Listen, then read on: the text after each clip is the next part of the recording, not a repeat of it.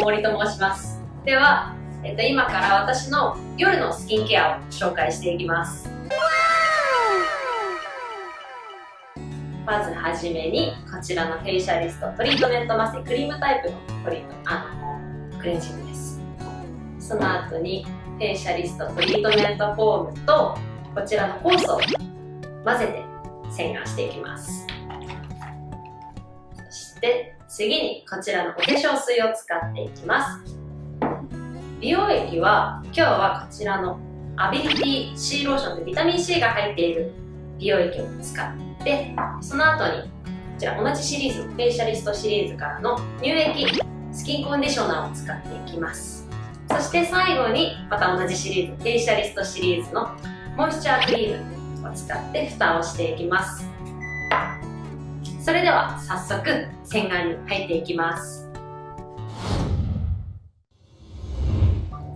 ではまずはじめにこちらのフェイシャリストトリートメントマセを使って化粧を落としていきます。今日焼け止めをお顔に塗ってるのでそれを落としていきますね。このくらい。このくらいのサイズをおでこ鼻頬顎に塗って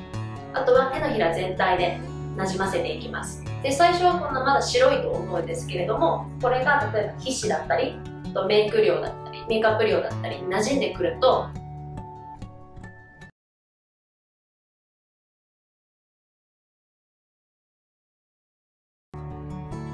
かなり馴染んできたのでこの後は洗い流していきます。クレンジングを落としてきました。すごい。もちもちですお肌が。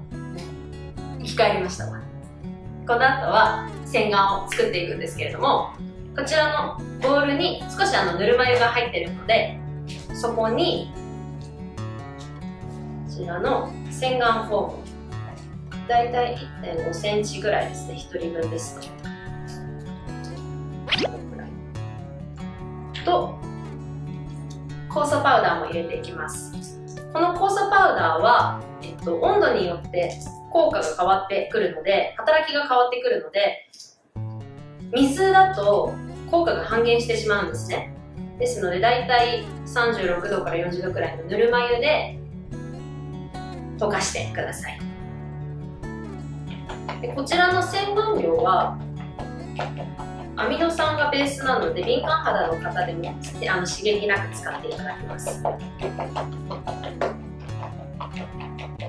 私は今手であの洗顔を作ってるんですけれども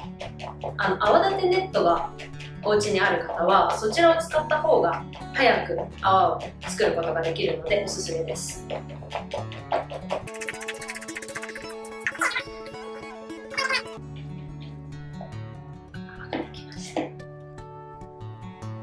こちらを使って洗顔をしていきます。洗顔を洗い流してきました。この酵素パウダーを使ったのであの小鼻のざらつきとかおでこのざらつきっていうのがなくなってすごくお肌がスレスレになりました。でこの後はお化粧水をつけてきます。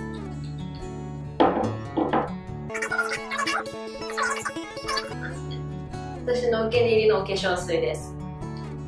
で乾燥が気になるところは部分的にワンもうワンプッシュぐらいつけていいと思います。私の場合はフェイスラインだったりこの頬のところが乾燥が気になるのでちょっとたっぷりめにつけてます。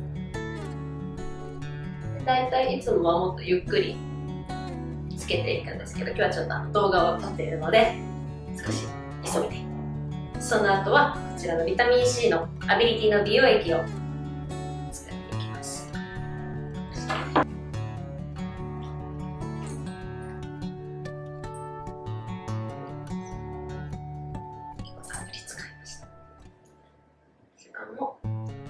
顔全体に。すごく軽いテクスチャーの美容液なのでベタベタが嫌いな方でも美容液って、まあ、ねっとりしたタイプのとろみのあるものとかが多いんですけど割とサラサラなので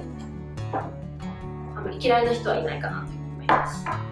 でその後は乳液を使っていきます。こちらも2プッシュ顔全体になじます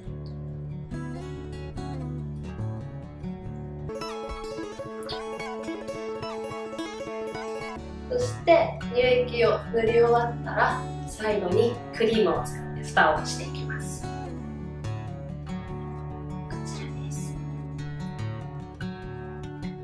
先ほども申し上げたんですけどこの化粧水と乳液とこのクリームは同じフェイシャリストシリーズというシリーズでこのシーボンの一番ベーシックなタイプのシリーズなんですけど顔全体に塗っていきます。もともとのお肌が持ってる力っていうのを引き出してくれるようなシリーズなので私は一番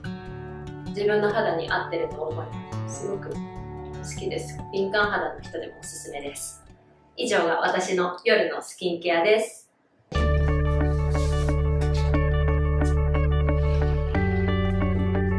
やすみなさい。